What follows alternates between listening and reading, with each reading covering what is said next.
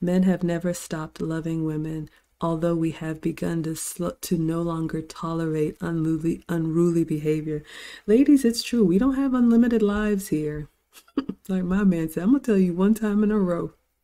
What would you add, Lucy? It's true. My husband told me I don't want to re repeat myself. And I think when we first dated dating, I tested it twice, and that was it. That was it. Exactly. And it wasn't on purpose, but that kind of reminded me, oh yeah, he said that he didn't want to tell me things twice. All right. I got the point. And you know, I respected respected it. I didn't continue poking the bear because there's no use.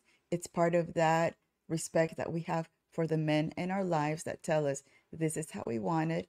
And yes, we will respect your um, your